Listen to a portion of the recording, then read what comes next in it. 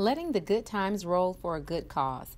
That's what the Washington County Economic Alliance Chamber aims to do in its first Mardi Gras parade and block party slated for Fat Tuesday, February 13th in downtown Greenville. We encourage anyone who wants to participate in the parade to come join us. Uh, we encourage vendors to sell Mardi Gras themed items. This can be anything from gumbo to sweatshirts, beads, and masks. Chamber Director Mary Catherine Brooks said folks could come in their golf carts, side by sides, motorcycles, or just dress up and walk your pets and your kids down the road. Headlining the event will be Dwayne Dopsie and the Zydeco Hellraisers, who won a Grammy in 2022 and are Grammy nominated again this year. Brooks highlighted the array of sponsorships available ranging from 250 to $5,000, with each coming with a special selection of benefits for each level but most important, all the proceeds of this event will go directly to the Greenville Christmas Committee initiative to raise money for lights for Greenville for Christmas 2024. I'm excited about the Greenville Christmas Committee initiative.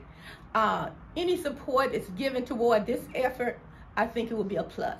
I'm excited. I'm ready for something beautiful to happen for our city. And Gardner isn't the only one, as other business owners said they love what the Economic Alliance and Chamber are doing to promote progress downtown. In Greenville, Jasmine Severson, The Delta News.